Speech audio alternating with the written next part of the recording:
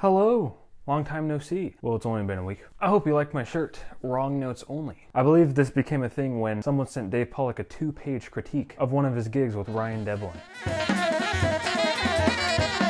It was pretty ridiculous, but Dave made a pretty funny video about it. And now you can get this glorious shirt from his website. Thank you, Dave, for this awesome shirt. Okay, anyway.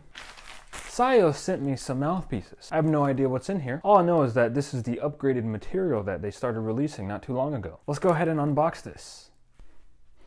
Here's a knife. Oh, it's been a long time. No, no, this takes forever to edit. It is the end of the knife scenes. I'm sorry. You've had a good run. Oh, wow. Two giant SYOS pouches. Ooh. Look at this. I've never seen them this big. This is literally bigger than my hand. So let's open. Let's see what's going on here. Ah, ooh, we got multiple colors here. Oh, wow. Oh my goodness, this is beautiful. Spark. This is quite interesting. Look what's going on here with the baffle. Huh. I wonder how this will sound. So let's go ahead and put this aside for now. All right, next one. Put our hand in the mystery box. Ooh, beautiful. Man, I really like the new design. It looks, whoa, steady. Very steady. Oh my god, so stable and stabilization and steady. Does the ligature come with it? No, it did not. But we do have a mouthpiece cap. Very, very incredible. All right, we'll put this right next to it. And let's see this last one. Oh man, these new colors are really beautiful. Smoky. Oh, smoky subtone like thui thui thui, thui thui thui thui. You know what I mean? Wow, very nice. I think I love it. Actually, I do love it. Alrighty, next one. Whoa, whoa, whoa, whoa. She sent me tenor ones. I've never tried SYOS on tenor still. Okay, so not expecting that. Okay, so we have some tenor SYOSes. So it looks like these are just all the same ones, but absolutely beautiful, regardless of alto or tenor. Alright, so before I try these mouthpieces, I thought I should try out my main mouthpiece first. This is the Meyer 6M, refaced by Thomas Acciato, paired with the Boston Sax Shop gold stippled ligature. Now, of course, equipment doesn't matter, but it's just, it's really fun to geek out and nerd about it. It's the same with like gaming laptops. Of course, buying the new laptop's not gonna make you the best Fortnite player in the world, but the laptop just looks cool. You just want it. So that's my philosophy with mouthpieces.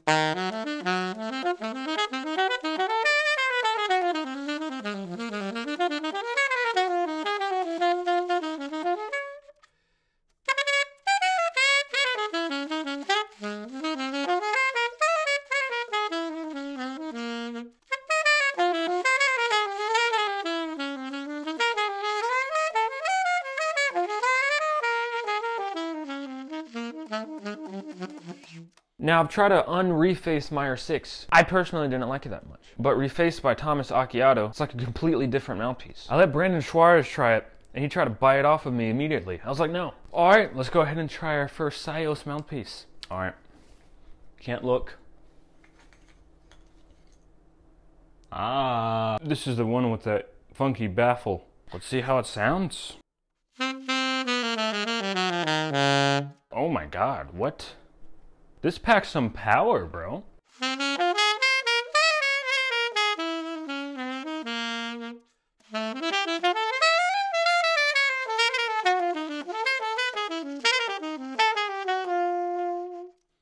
Huh.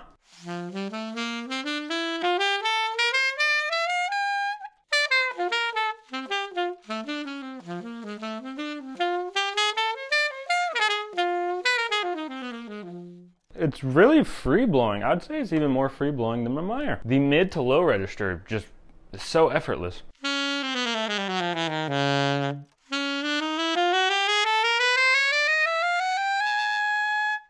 It gets a little weird up there for me though.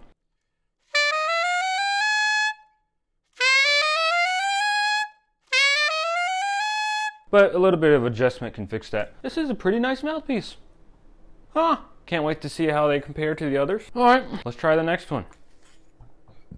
Ah, we got the steady, pretty standard baffle here. It's slightly shorter. I only have this orange ligature here, so let's try it with the orange ligature.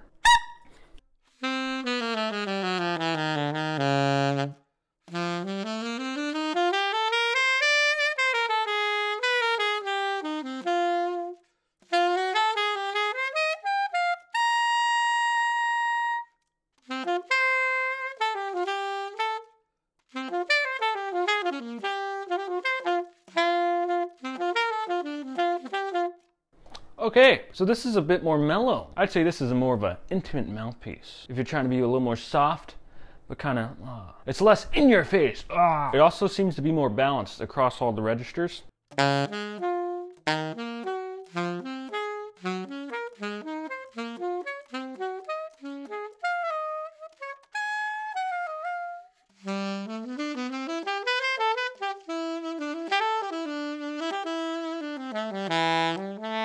Okay, so with the exact same reed, it seems like it's just getting harder and harder to approach that upper register. But this reed is a little thin. I have no doubt that with a slightly thicker reed, this could adapt pretty well. But I got the general gist of this mouthpiece. Seems to be a lot more balanced, a lot less abrasive and in your face. This is a nice balanced jazz mouthpiece. This is Man, I'm quite pleasantly surprised. Let's go ahead and try the blue one. Here we are. Another standard baffle. This one's even shorter than the white one.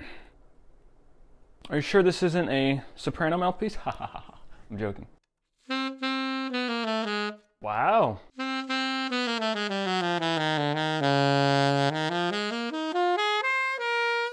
Huh.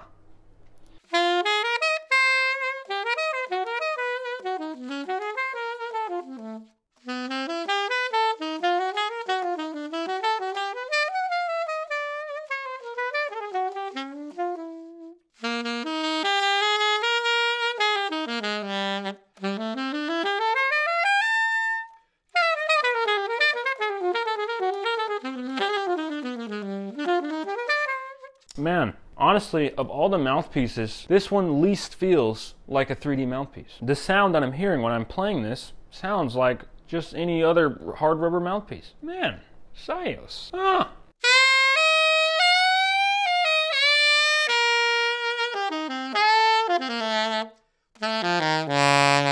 Oh my goodness. Okay, I would say this one's my most favorite. I can get that projection and I can get that subtle ah you know, the more delicate ballad like stuff.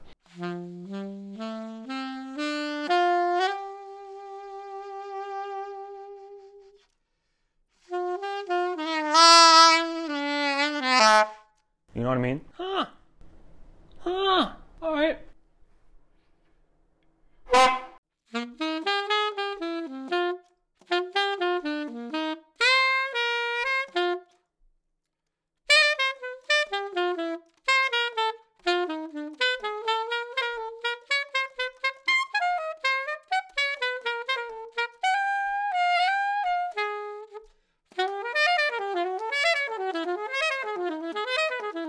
Mm-hmm.